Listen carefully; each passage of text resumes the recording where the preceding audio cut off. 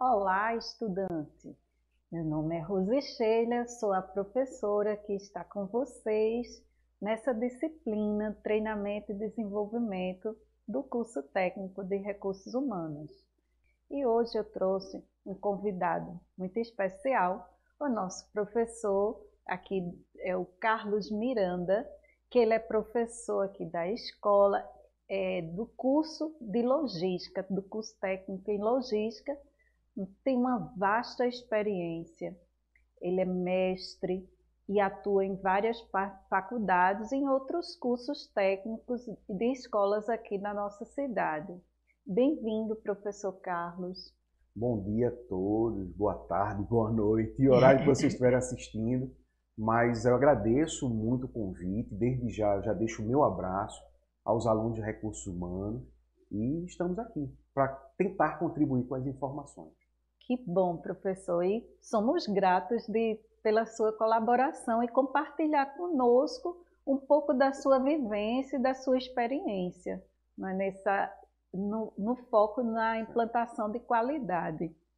É, Carlos, é, com base nessa experiência que você tem é, e já participou né, de vários projetos de implantação de pro, programas de qualidade.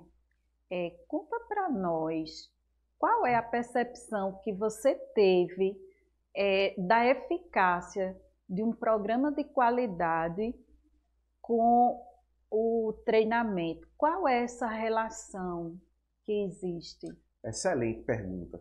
É, primeiro, a gente tentar entender o, o, porquê da qualidade. E aí a professora Rose foi feliz na pergunta, porque ela já trouxe a expressão percepção. E a qualidade por si só, no desenvolvimento da construção do seu conceito, né, que é, é dinâmico, né, definir qualidade hoje, obviamente, não seria a mesma coisa que definir a qualidade no passado. Isso. Paladino, que é o grande autor da escola da qualidade, ele diz que a qualidade ela é influenciada por dois elementos, tempo e espaço. Né? Em função do tempo, a qualidade ela vai se adaptando ao uso né, a, a, se adequando às necessidades do cliente, aos desejos do consumidor. Que vão mudando vai com mudando. o tempo, né? E em relação ao espaço, envolve, envolve muito as questões culturais. Então, de que uhum. forma a qualidade é importante no treinamento e no desenvolvimento organizacional e também do colaborador? Então, a qualidade ela envolve não só as questões operacionais, mas envolve também a qualidade do ambiente interno da organização. Uhum. Tendo em vista que Qualidade hoje não é mais um diferencial competitivo das organizações, já faz parte da essência da própria organização. Então, trazer a qualidade para dentro da instituição, dentro da organização, significa dizer que é tornar todos os processos, as atividades, né, de forma padronizada, as suas uhum. especificações coerentes com os objetivos da instituição, não é? com, com a política das boas práticas organizacionais para que esse conceito de qualidade, né, essa, essa relação da expectativa com a realidade seja de fato coerente com aquilo que o cliente interno deseja ou o cliente ou consumidor almeja para a organização. Ótimo, professor. Professor, é, a gente está aqui conversando, é, direcionando nosso bate-papo para é, futuros profissionais de RH. É, nesse que é uma verdadeira força-tarefa né, de, de é, envolver toda é, é, uma empresa com esse foco em qualidade, né, mesmo considerando a percepção, os gostos, as necessidades daquele setor, daquela área que ela atua, mas trazendo para dentro da empresa é, uma percepção prática, é, qual a contribuição, como a equipe de RH contribui para esse, o sucesso desses processos? Ótimo, contribui sobretudo na mobilização e sensibilização dos colaboradores. Uhum. Isso aí seria a parte mais subjetiva, ou Sim. seja, a, parte que a gente identifica na empresa como os valores dela. Então, quando uma, uma organização se submete não é, aos seus, a, a estruturar padrões de qualidade ou a um sistema de qualidade, significa dizer que ela quer avançar nos seus uhum. processos, não é? ela quer avançar na sua política de valorização do colaborador interno e quer estar atenta ou, ou, ou como é que a gente pode dizer, alinhada ao Sim. desejo e à necessidade. Então, a qualidade ela vem para agregar certo. esses aspectos de processo. Uhum. E o RH, e aí fica uhum. a nossa orientação para o profissional de recursos humanos, então ele precisa é, fazer com que os colaboradores se apropriem né, da concepção, da, da, da internalização do conceito de qualidade nos processos organizacionais. Não é? Isso seria a parte subjetiva. A parte mais operacional, certo. a parte mais documental e administrativa, o RH vai preparar é, a rotina, documentar o passo a passo de cada atividade profissional de acordo com os cargos das, das áreas funcionais da organização para que consiga alinhar a política, os valores da internalização Sim. da qualidade com os processos, e os processos né, e as especificações pelas quais o sistema requer que a organização seja submetida.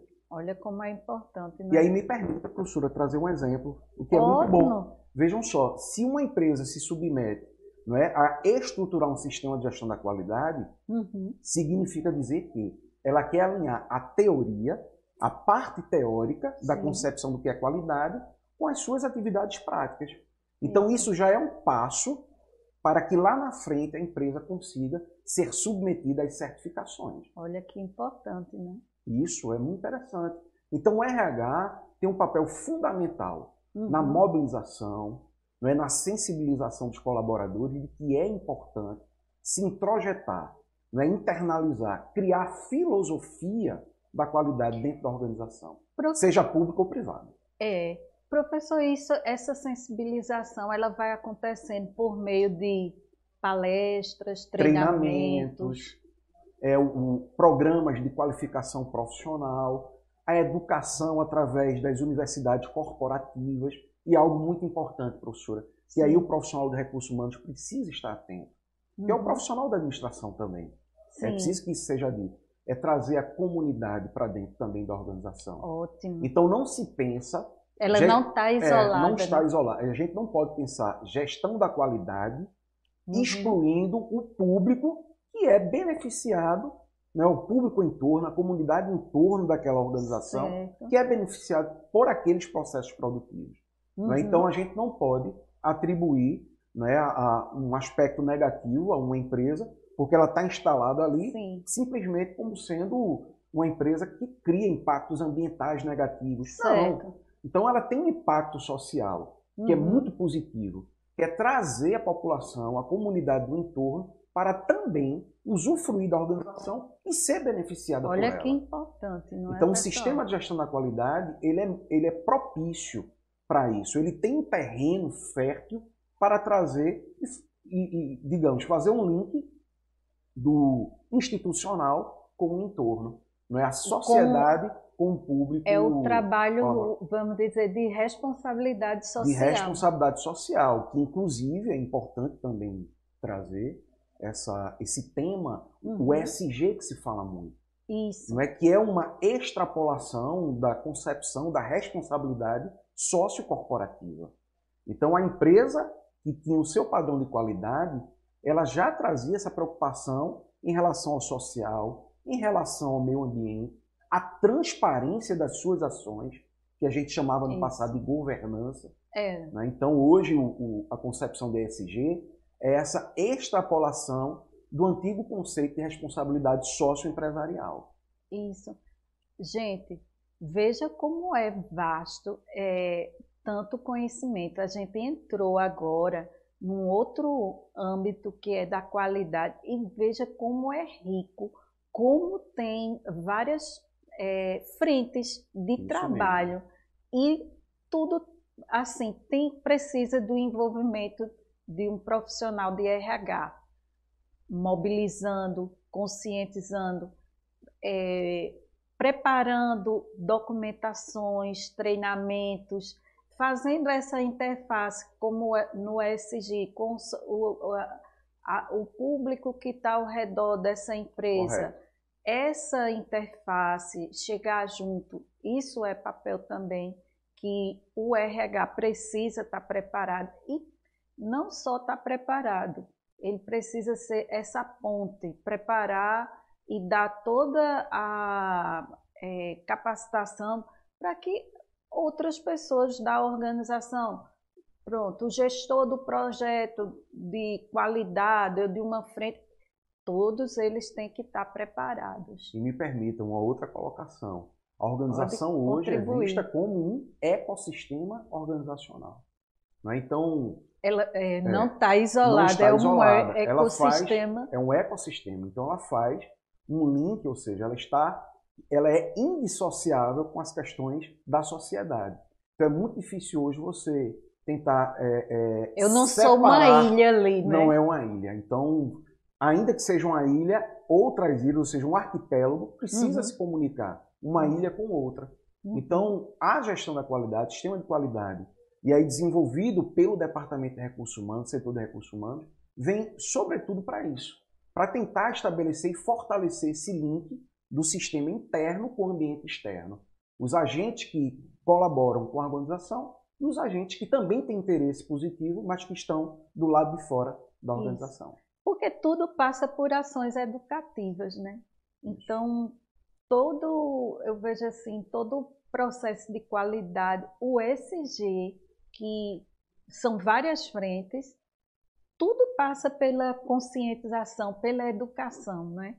Ou seja, a qualidade é uma ação pedagógica também. É uma ação pedagógica muito importante.